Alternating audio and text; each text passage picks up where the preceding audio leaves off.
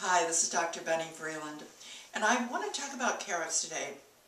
Maybe because my name is Bunny, but I love carrots. And do you know that not only do they help your vision, that old wives' tale is true, but the other thing is they help to prevent cancer.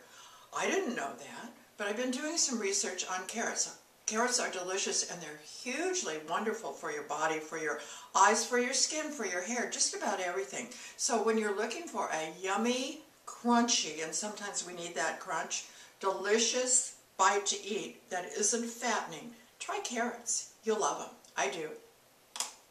Mm. Thanks for stopping by.